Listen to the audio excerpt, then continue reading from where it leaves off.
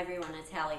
So I have clients ask me this all the time and I wanted to share this with you guys today because I think it can be really helpful about brainstorming career ideas. So here's the deal.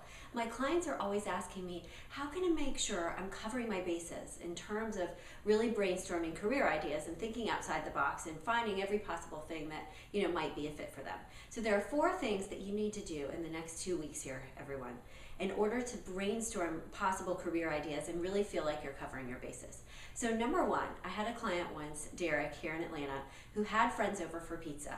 So have some friends over for pizza on a Saturday night, get out a whiteboard, have them help you brainstorm possible career ideas. They know you well, they'll come up with some great ones. Number two is conduct online research and really effective online research. Be real comprehensive with this using online resources like mypursuit.com and onetcenter.org. And these are in the text on YouTube for you guys, written out.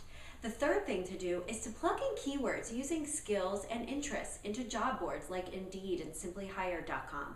Those will help you brainstorm additional ideas based on job openings or openings that are currently out there. And the fourth thing to do, everyone, is to conduct informational interviews. This is a critical piece. So talk to as many people you know. Find friends and family members, friends of friends, as many people you know about the jobs that they do in the industries that you're interested in to learn more about what it's really like and what a typical day is truly like in that job.